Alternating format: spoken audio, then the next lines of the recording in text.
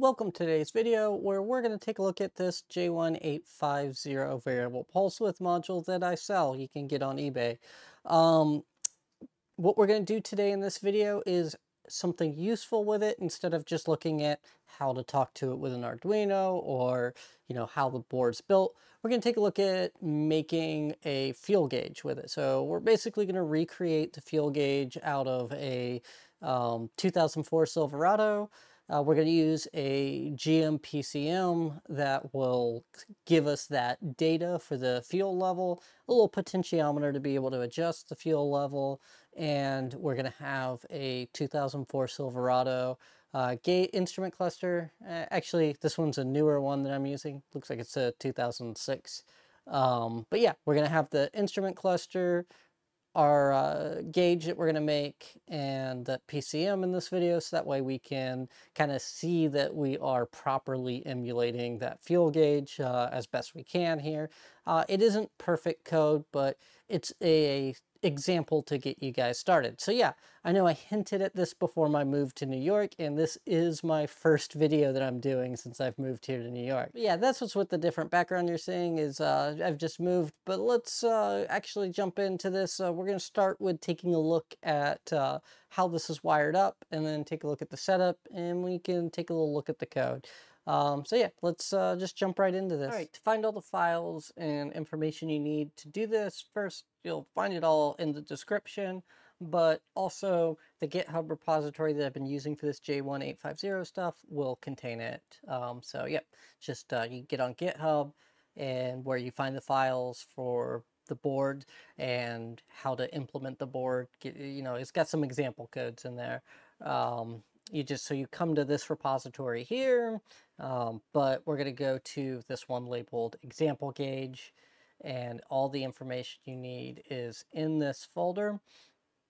It's got a kind of a pictographic schematic for you um, should be easier to follow for the beginners because I've been getting a lot of requests on like hey how do I use this to make normally they're asking like a whole gauge panel and I'm not going to go into that level of detail on this stuff but um, to make like a single gauge um, th this this will get you started. Um, I got the bill of materials so that way all of these devices that I used um, you can find here. This display is different than the one shown in the drawing. This is the correct display. That's what I actually used Fritzing just had this one in there that had the exact same pinout. So I just used that. It's a different size display.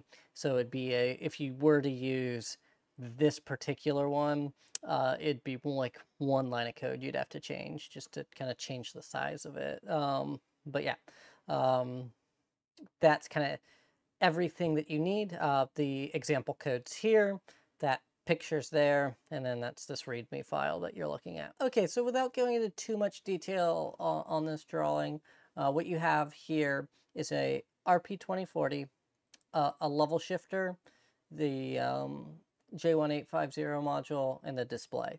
So this level shifter is because this runs at 5 volts, and the RP2040 uh, is a 3.3 volt uh, controller, and then this display is really meant to be run at 3.3 volts as well.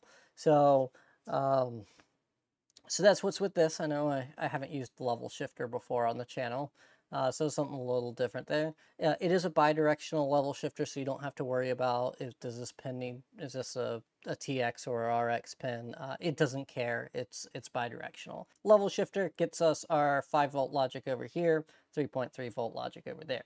Um, this display, pretty standard setup for a display. Uh, it's basically SPI, even though they use the um, I squared C um, um, labels there that SCL and SDA uh, is actually a um, uh, clock and MISO pin. So yeah, kind kind of, or sorry, uh, MOSI pin. The, there is no MISO on here, so there's no master in slave out. Um, the display doesn't respond with anything. It, it only receives. Um, so yeah, you, you have your reset pins and all that. So just kind of follow these along. Uh, you know, pin one's right here, and uh, it goes over. Pin 40 is there. Uh, pin 40 is the, the USB voltage. So yeah, we're powered off of the USB connection here. Uh, that's all what we're using USB for. We're not doing any serial. You can turn on serial to use for debug, but it's it's not used in this code. So the USB port's just being used for power.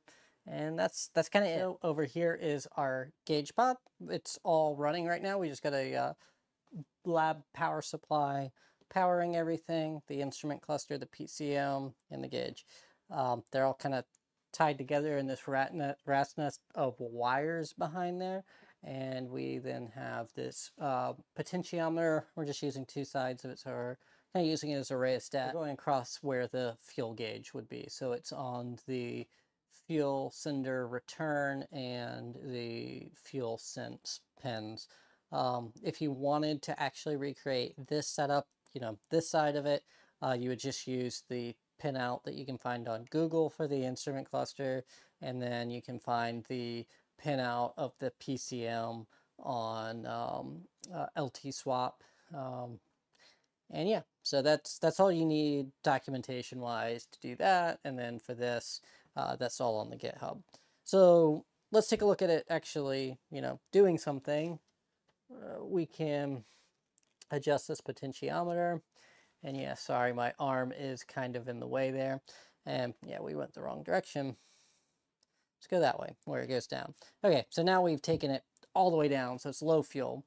Um, you'll notice that we just kind of move immediately to the position the instrument cluster has um, anti-slosh kind of in the code that keeps it from um, moving too fast to a position. Um, just it's it's literally just to keep it you know looking nice. You can definitely do that in the code here. Um, my uh, indicator I have set to come on at like 15%. I think these are like 2 or 3%. So yeah, the indicator's a little bit different. But yeah, so we have a little indicator that shows that we have low fuel. Um, you could change that indicator to be like a, a greater than instead of a less than and use it as a high indicator like you would probably want to use on voltage or temperature or RPMs. But um, yeah, so we can definitely just uh, kind of adjust it. So yeah, we don't have to go all the way down. We can kind of go somewhere in the middle. It is a little finicky because this is a 1K um, pot, and it's really just like um, eh, kind of close to, to half. Um, and yeah, you can see we're still very slowly putting along to uh, to get to the same spot. So yeah, that anti-slosh, because I mean, it the fuel your fuel gauge should never move this fast. You should never be losing or gaining fuel uh, as fast as we're adjusting this. So, uh, yeah, as you can see, since we have a different range of motion, we kind of don't really look like we're matching. But if you do the percentage of it, they, they do they do match. Um, so yeah, we're just basically scaling that uh, zero uh, to 255 of um, what the, the value is to a percentage here, and then using that percentage to kind of move around on the, uh, the gauge. Uh, let's let's take a closer look just so you can see what the gauge is supposed to look like. So yeah, and here is just kind of a close-up of that gauge moving around. So it's a, a relatively smooth. It's it's not scaling it um, it is just jumping to exactly what it received. So if if it receives, you know, uh, a hundred uh, integer of like 125, it's going to be like right at half. Um, or if it gets an integer of like two, it's going to be all the way at low. Um, you know, zero would be like 100% low. Um, I don't think the the PCM really ever sends FF or zero zero. I, I, haven't seen it do that, um, but it gets close to um, Autumn. I, I, I have seen it send like FE, which is which is pretty close to FF. You know, you don't have much left there. Um, so yeah, it, it it'll send like from two percent to ninety eight percent um on it, and yeah, that's um there's you kind of the full overview of it. Uh, this USB is just being used for power. Um, we can see it is just going to a power brick over there. So yeah, we're just running off of um, USB power. The uh, the five volts comes out of the the USB power there, and then the 3.3 volts is made on the board there that powers everything else. So that's um, really the overview of the board itself and kind of showing you a practical application of um, of the board that I make and sell. So yeah, let's uh, take a very quick look at the code here. Okay, so this is the code you'll find on that GitHub repo there. Uh, and yeah, as you can see, we're not using a ton of libraries. We are using all the libraries for the, the screen, but for the J1850, we're just kind of doing it uh, live in the code. Kind of the main things I want to note here is first, it's really short. It's a 113 lines of code that, that, you know, we have to write, and then the rest of it's just in the libraries. So, uh, this isn't like something that's unobtainable for someone to learn how to do. Uh, it's really a mashup of two different projects I did. I did one, you know, months ago to do that YouTube short um, of just like a sweeping gauge that that was also what it was was a sweeping gauge. There was no like smarts behind it. Um, and then the the other one is just my old read example that I did like a couple of years ago for um, for this module. So the it's just two different projects I did just smushed together. Super easy um, to implement and just get going. So the main things we have here are our, you know, we're broken up into a couple of blocks if you're unfamiliar with Arduino. You have your like includes and your variables that you're going to define. You get those set up. Then you have your main setup that you're going to run and your main loop. And then you can have other functions that you're calling like this uh, SPI cycle and process frame. Um, things for if you want to kind of play with this code to to note. So if you want to make that indicator a you know a uh, greater than um, you know this number or less than this number. So if you want it to be like a high trip or a low trip, uh, just uh, change this right here.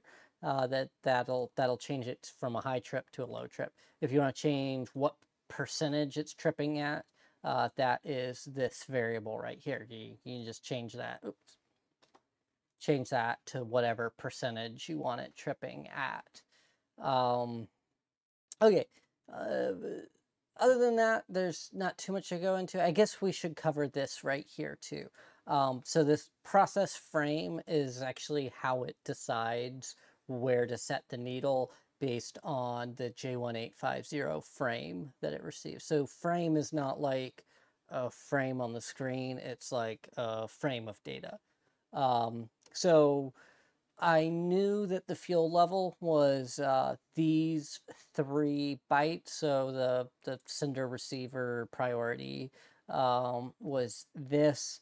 Uh, I didn't realize at first that I needed uh, another um, another byte to be set. So within that sender receiver priority, you also had the um, um, uh, a byte that told. I, I don't know what integer value 19 means. Um, it, it's either for the second fuel tank for the, the cars that have two, uh, or it's to tell it how fast to sweep. Not really sure uh, what what that one is.